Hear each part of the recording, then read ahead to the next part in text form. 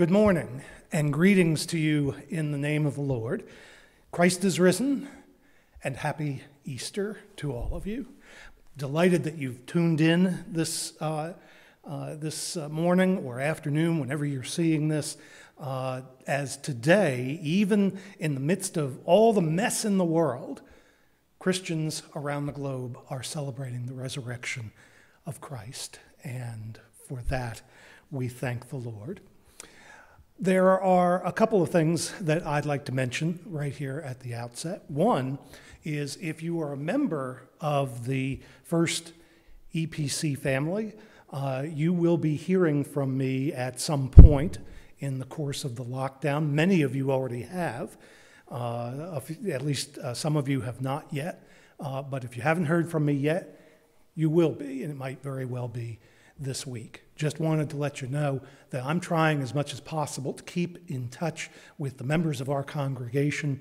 And my hope is, and from what I've heard, uh, other folks are doing so as well. And thank you very much for, uh, for continuing to keep in contact and lift one another up in prayer.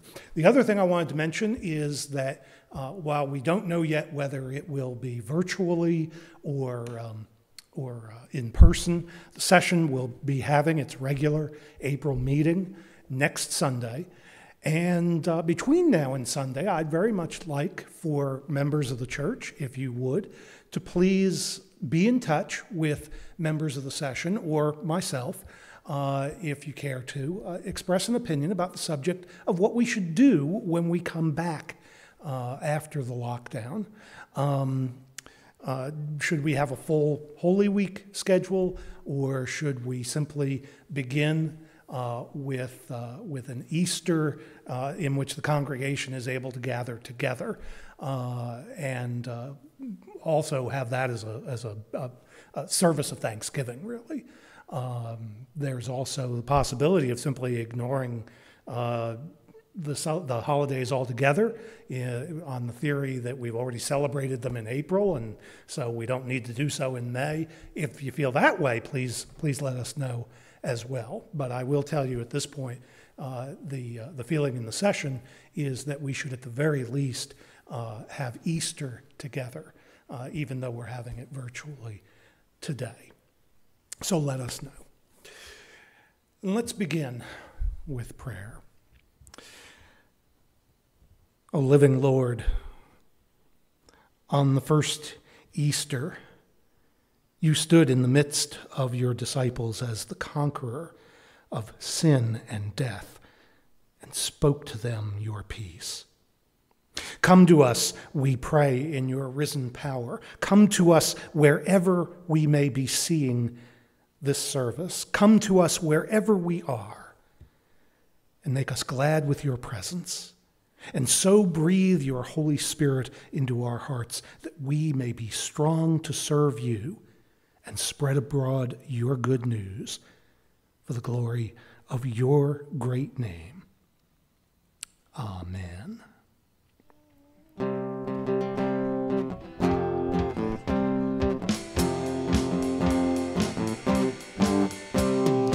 Christ the Lord has risen today.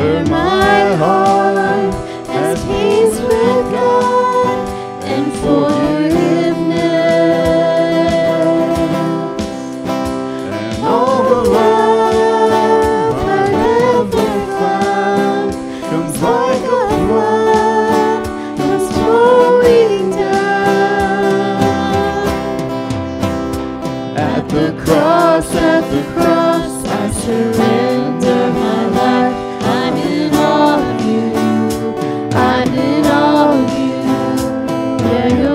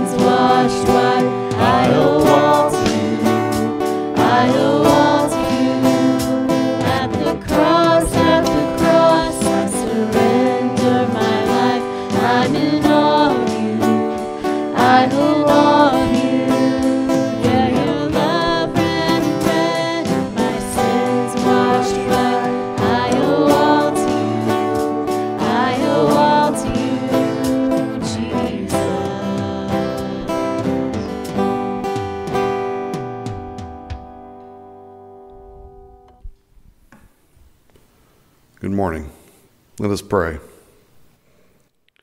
Heavenly Father, to say that this is not how we wanted to celebrate your Son Jesus' resurrection would be an understatement. This is a very strange Easter Sunday, to say the least, and for many of us, the first one, maybe in our lifetime, not spent in your house with our brothers and sisters in Christ. Today and in the days ahead, continually remind us that you're the same yesterday, today, and forever.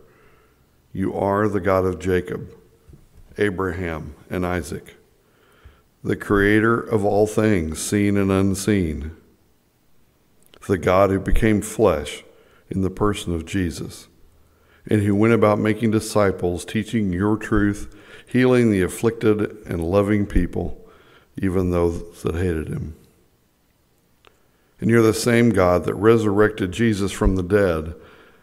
And you, through Jesus and your Spirit, are with us this day, however strange it may be. Remind us that you are sufficient for every need.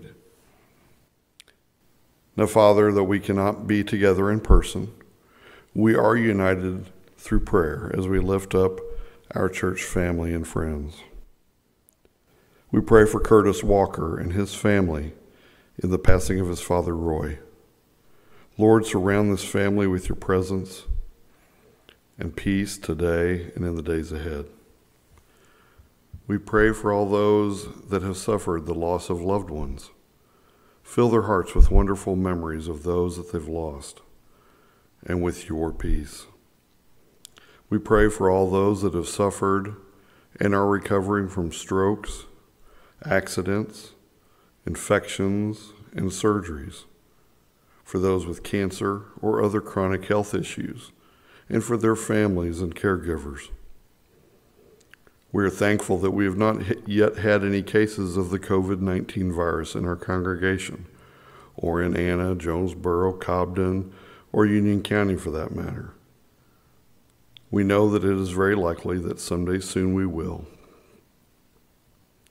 Help us as your people to do what we can do to care for others, even if it means staying separate for a little longer.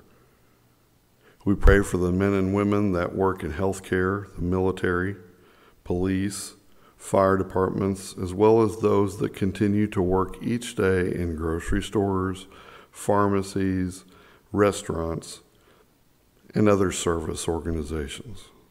That you would protect them and bless them for their service. We pray for those that, though may not, they may not have the virus, they are affected by it nonetheless due to joblessness or lack of business. Sustain them through this time, we pray. We pray for educators and students as they work to complete the school year as best they can. We pray for First EPC Ministries, for the Christians around the world and their families, and for the persecuted church. Father, we thank you for Pastor David and Marianne.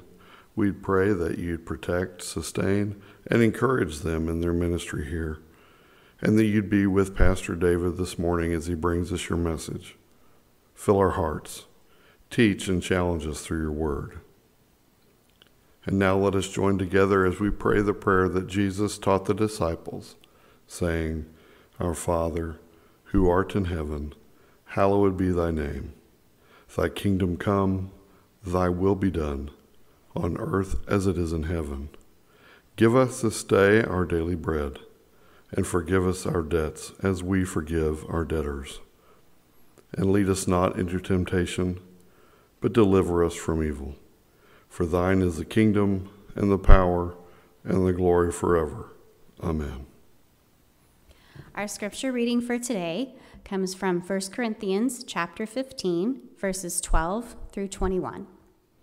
Now, if Christ is proclaimed as raised from the dead, how can some of you say that there is no resurrection of the dead? But if there is no resurrection of the dead, then not even Christ has been raised. And if Christ has not been raised, then our preaching is in vain, and your faith is in vain. We are even found to be misrepresenting God, because we testified about God that He raised Christ, whom He did not raise, if it is true that the dead are not raised. For if the dead are not raised, not even Christ has been raised. And if Christ has not been raised, your faith is futile and you are still in your sins. Then those also who have fallen asleep in Christ have perished. If in Christ we have hope in this life only, we are of all people most to be pitied. But in fact, Christ has been raised from the dead, the firstfruits of those who have fallen asleep. For as by a man came death, by a man has come also the resurrection of the dead. The word of God for the people of God. Thanks be to God. The gospel lesson for this morning comes to us from the Gospel according to St. Matthew, chapter 28, verses 1 through 10. Now, after the Sabbath, toward the dawn of the first day of the week, Mary Magdalene and the other Mary went to see the tomb. And behold, there was a great earthquake, for an angel of the Lord descended from heaven and came and rolled back the stone and sat on it. His appearance was like lightning, and his clothing white as snow. And for fear of him, the guards trembled and became like dead men. But the angel said to the women, Do not be afraid, for I know that you seek Jesus who was crucified. He is not here for he has risen. As he said, Come and see the place where he lay.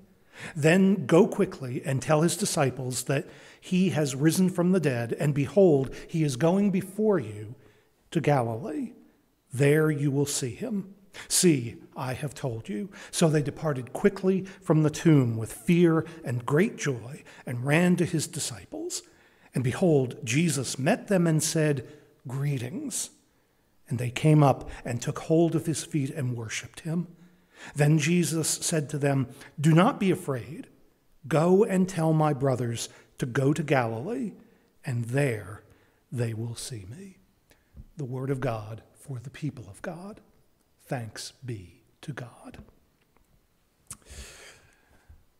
the first time I read the New Testament, the first thing that shook me was right at the beginning, finding out that Jesus was Jewish. Jesus was descended from the same people that I am. I had grown up entirely ignorant of that fact. The second thing that shook me was at the end of the Gospel of Matthew. Jesus is being Jewish, that was at the beginning. This was at the end, and that was that he had risen from the dead. He who had been dead, he who suffered on the cross and had passed from this life, was alive. I realized, without being able to articulate why, remember, I had no background in Christianity at all, but I realized that this, if this was true, and if I believed that this was true, it changed everything. I recognized, uh, maybe in a way that, that only someone from outside of the faith can, that Christianity and its claims stand or fall on the basis of this one fact, this one truth, this one reality. And of course, as I read through the New Testament, uh, I discovered that, in fact, my initial sense of this was correct. That the Apostle Paul, as he described the resurrection and its significance in 1 Corinthians, affirmed what I had thought was the case, namely that the claims of Christianity, the faith itself, stand or fall with the resurrection of Christ. Paul makes that clear in 1 Corinthians chapter 15 that the claims of Christianity stand or fall on the resurrection.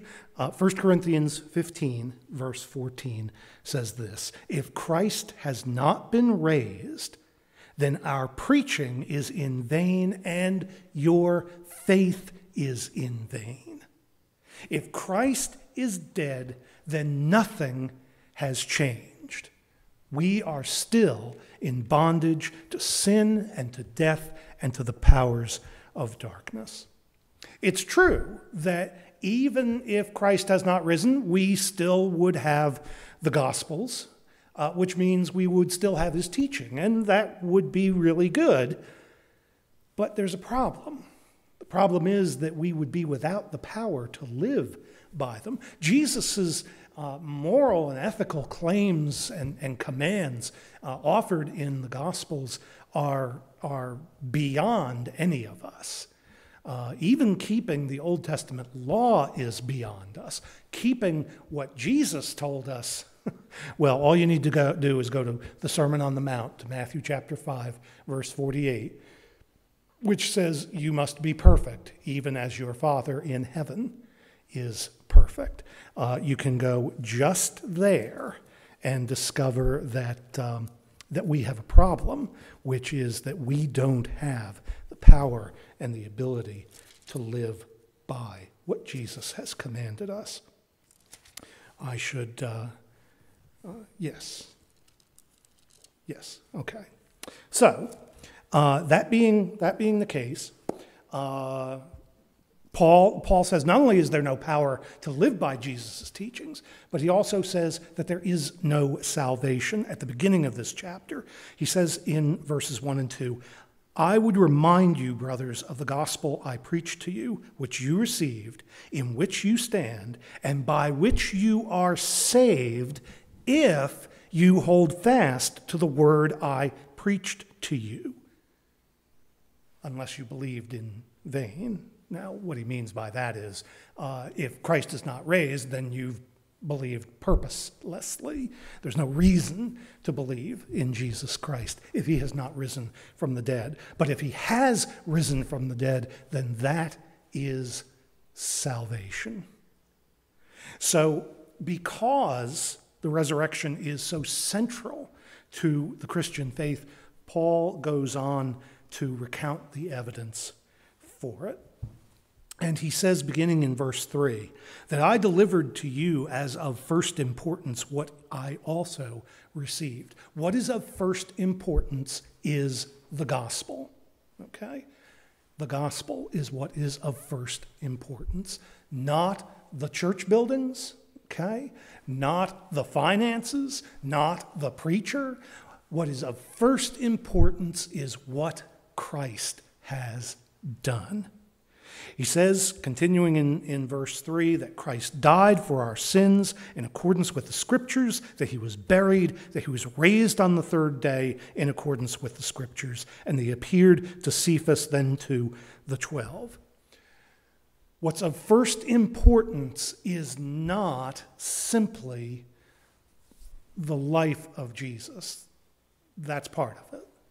But what Paul focuses on as being of first importance is the end of his life and the start of his new life. That's part of the reason why the praise band uh, earlier sa- sang At the Cross.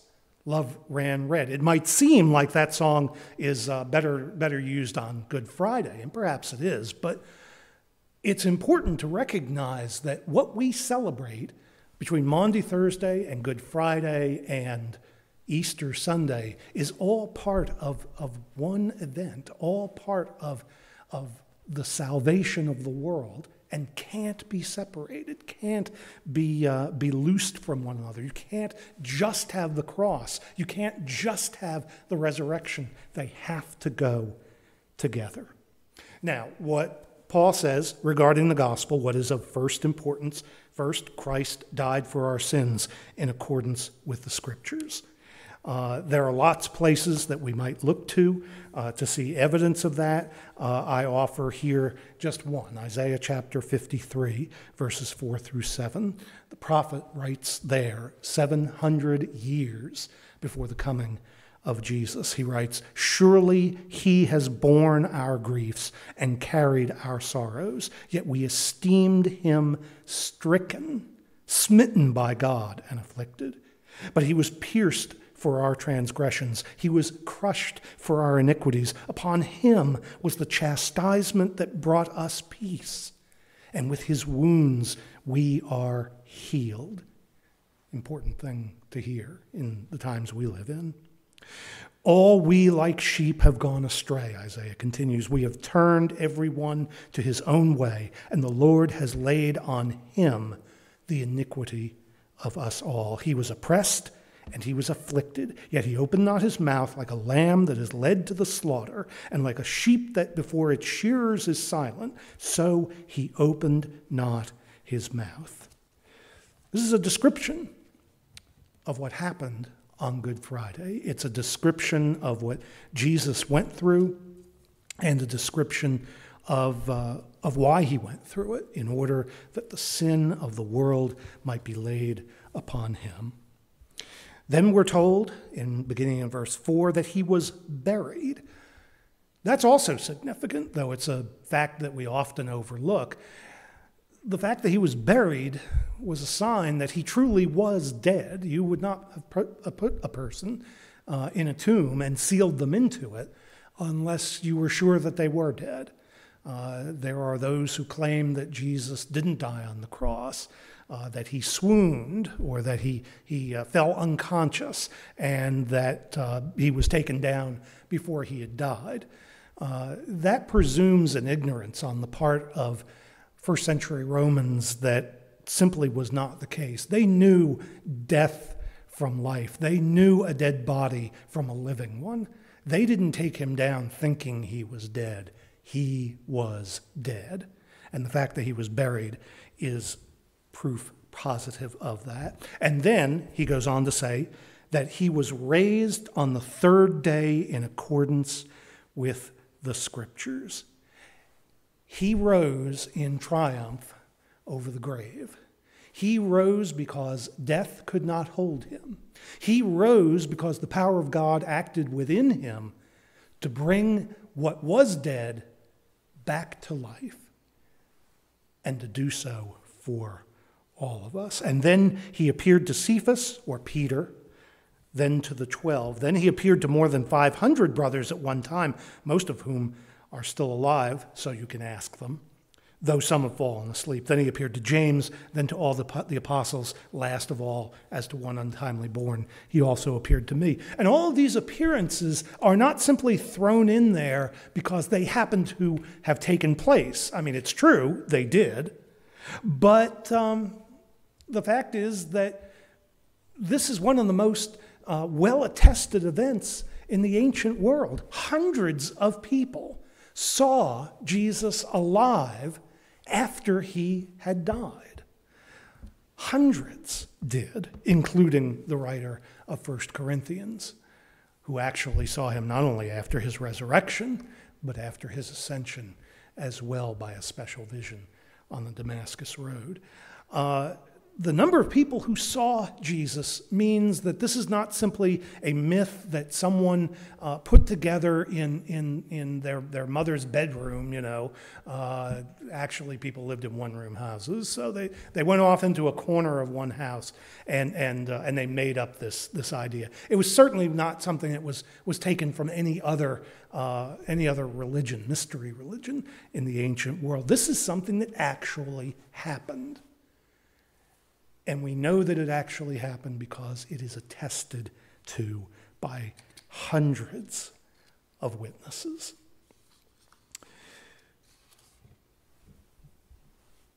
So it happened.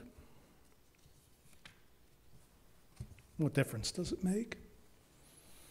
Jesus is alive. That's wonderful. That's great. That's, you know, that's uh, uh, good for him. But this was no ordinary resurrection. This certainly was not anything like uh, the raising of uh, Jairus' daughter. This was certainly not like Lazarus. Those people died in the end. They returned to life, but they died in the normal course of physical life. When Jesus rose from the dead, he rose permanently, eternally. And because he did, everything changed everything changed. Uh, Paul says in verse 20 of 1 Corinthians 15 if in fact Christ has been raised from the dead, the first fruits of those I'm sorry, in fact, Christ has, there's no if in there. Christ has been raised from the dead, the first fruits of those who have fallen asleep. For as by a man came death, by a man has come also the resurrection of the dead. For as in Adam all die, so also in Christ shall all be made alive. That gets to, to the heart of both our problem as human beings and our glory as children of God. The problem is that when Adam introduced death into our species, he passed along that inheritance to all of us. All of us die. Even those who have had near death experiences, or those who, like Lazarus, have been genuinely dead and brought back to life, every single one of them has died. Every single one. The death that we are experiencing now in the midst of the coronavirus pandemic is by no means unique in human history. And it's not just that, that death is, is universal. Uh, this kind of thing has happened over and over again on far greater scales, truth be told, in the, in the Black Plague of the 14th century, approximately one third of the entire population of Europe died. Uh, death has been a constant companion of human beings throughout our existence since Adam. But with the coming of Christ and with the resurrection of Christ, things have changed. Because Christ was not simply a man, and his resurrection was not simply of himself. Christ was, in fact, the embodiment of human nature. He was an individual, yes, but he also embodied human nature in the same way that he embodied God's nature. Two natures in one person, our Lord. One of those natures was human nature, and he was born with the limitations of human nature. He had to sleep. He had to eat.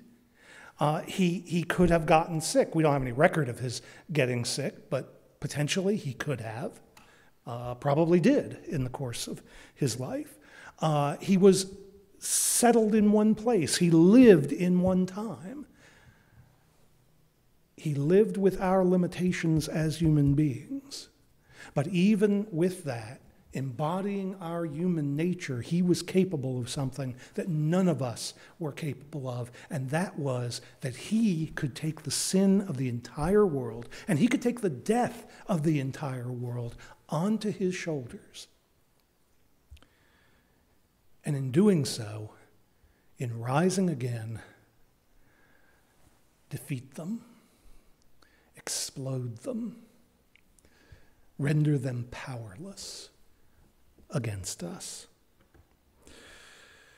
Jesus, the incarnation of God and the incarnation of human nature, he gives us the ability to rise again. And in fact, all people will rise again. Uh, death has been truly defeated, not just for Christians, death has been defeated for all human beings. All of us will live for all eternity. The question that, that, that stands before each of us is what will the form of that life be? Will it be a, a form of life that mimics death in hell, separated for all eternity from God?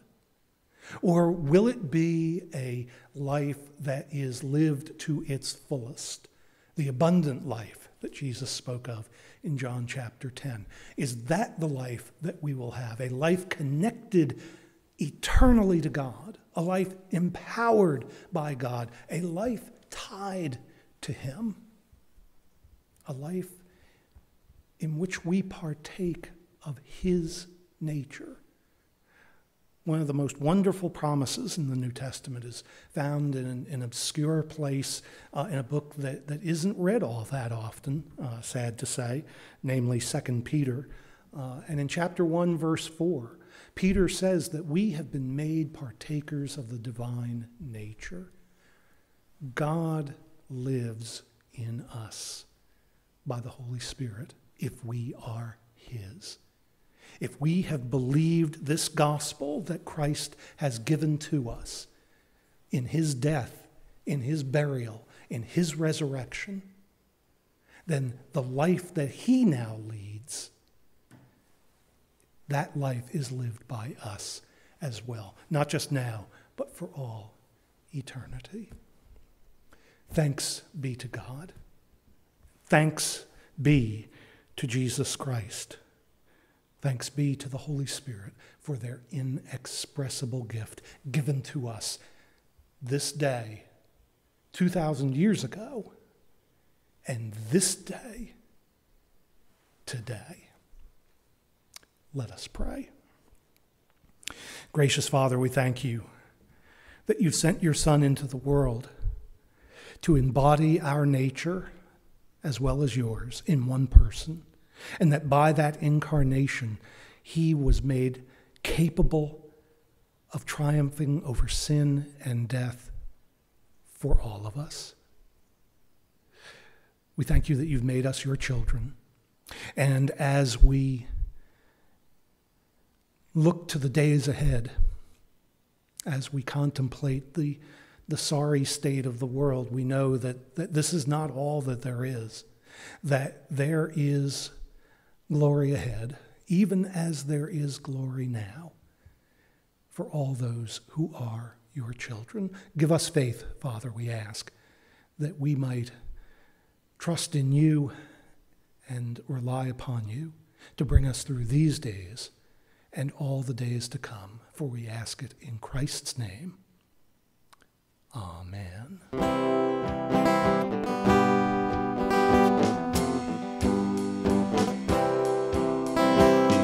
Christ alone my hope is found. He is my light, my strength, my song. This cornerstone is solid ground. Firm from the fire's drought and storm. What heights of love, what depths of peace.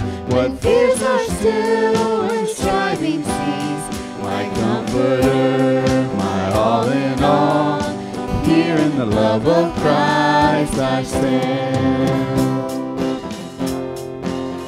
In Christ alone, who took on flesh, fullness of God in helpless babe, this gift of love and righteousness, scorned by the ones he came to save, till on that cross as Jesus died, the wrath of God was satisfied, for every sin on him was laid.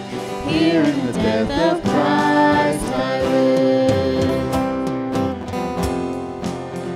There in this ground his body lay, light of the world by darkness slain, and bursting forth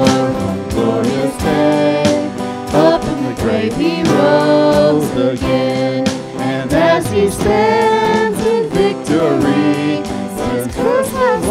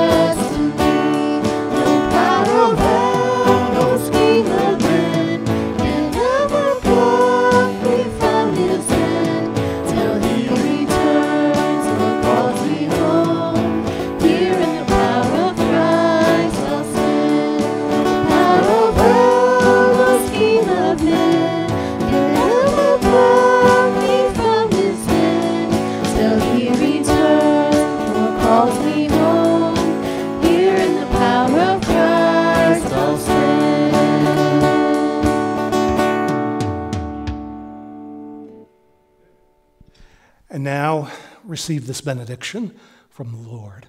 May the God of all grace, who has raised his Son from the dead, that we might be raised as well, to live for all eternity as his children, go with you, be at work in you, live through you, for the sake of Christ our Lord. Amen.